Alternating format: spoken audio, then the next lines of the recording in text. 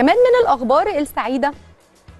شهدت الساعات الأخيرة مطالب إعلامية وجماهيرية في نادي طرابزون سبور التركي بعودة تريزيجي لاعب ريان القطري لصفوف الفريق التركي في يناير المقبل بعد تدهور نتائج طرابزون واحتلاله المركز ال 12 بفارق أربع نقاط بس عن الفرق المهددة بالهبوط.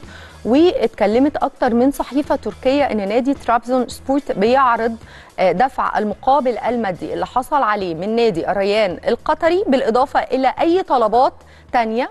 بيطلبها النادي القطري لعودة تريزيجيه لنادي طرابزون سبورت مرة تانية. وفي الحقيقة اتكلمت كتير جدا مرارا وتكرارا على تريزيجيه. واحد من نجوم منتخبنا الوطني آه وعنده كتير قوي. يعني تريزيجيه برضو بشوف من اللاعبين اللي مش واخد حقه اعلاميا. هو لاعب فنياته عالية جدا ويستحق إن هو يكون في دوري أقوى من الدوري القطري وأقوى من الدوري التركي. كمان إمكانيات تريزيجيه بتقول كده. هيروح فين الفترة اللي جاية؟ ده اللي هنشوفه وهنتابعه.